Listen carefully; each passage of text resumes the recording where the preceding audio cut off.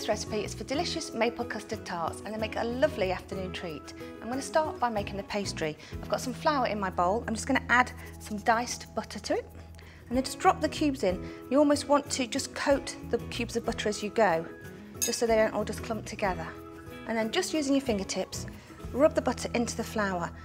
And once you're happy that your mixture is nice and fine, I'm going to stir through some icing sugar and then just make a well in the centre and add a little bit of vanilla bean paste.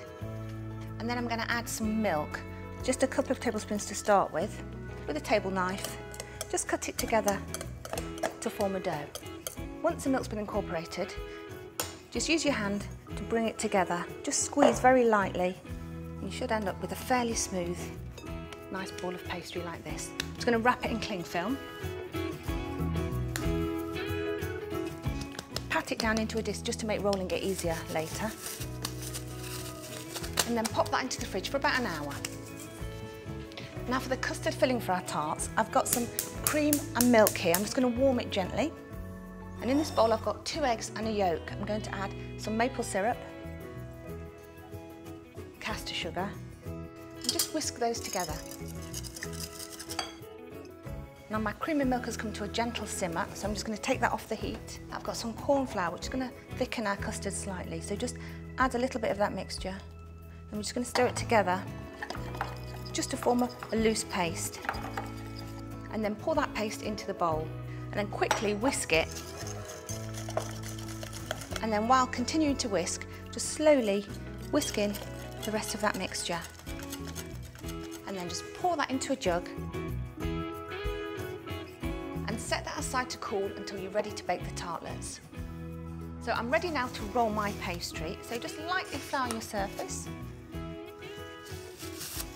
And then just a little bit of flour onto your rolling pin. And we're just going to try and roll quite evenly because we want thin pastry for these little tartlets. Our pastry is thin enough now, so I'm going to start by stamping out some circles. I'm aiming to get 12.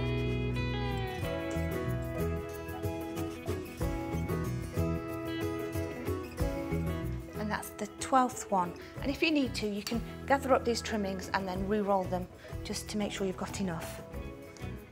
I've got a non-stick muffin tin here. I'm just going to gently drape each disc in. And we're not going to try and smooth them out, we're going for a rustic look. That's the last one going in. So that's our tartlets all nicely lined. I'm just going to prick the bases just to let any air bubbles escape. And then because we don't want soggy bottoms, I'm going to bake them blind. So I've got some parchment here, just cut into squares that I've scrunched a little bit. They go into each one.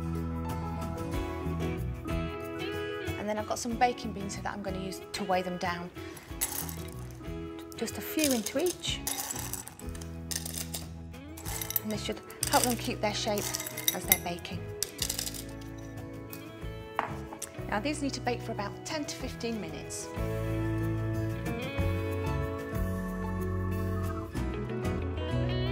So my tartlets have set. I'm just going to remove the beans. Now be careful because it's going to be quite hot. Just pop them back in. And the sides are beautifully golden, but we just need to set the base. So once all the beans and paper are out, I'm going to pop them back into the oven just for a few minutes to make sure the bases are set.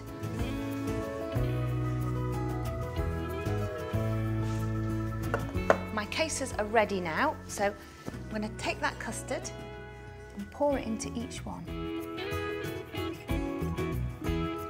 And these need to go into the oven now for about 10 to 15 minutes until they're set and golden brown and then they're all ready to serve. For more lovely recipes, don't forget to subscribe.